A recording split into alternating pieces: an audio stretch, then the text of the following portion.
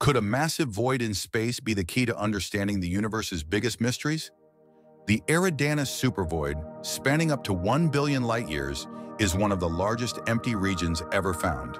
This cosmic anomaly coincides with a strange cold spot in the cosmic microwave background, the radiation left over from the Big Bang. Some scientists believe this cold spot could be caused by the supervoid's lack of matter, but others propose a far more intriguing idea. The cold spot might be a bruise from a collision with a parallel universe. According to the multiverse hypothesis, our universe could be one of many, and while speculative, the Eridanus supervoid might provide clues about this cosmic clash. This giant, empty region challenges our understanding of the universe and could offer a glimpse into another reality. The mystery of the Eridanus supervoid remains unsolved, but could it hold the secret to unlocking the multiverse?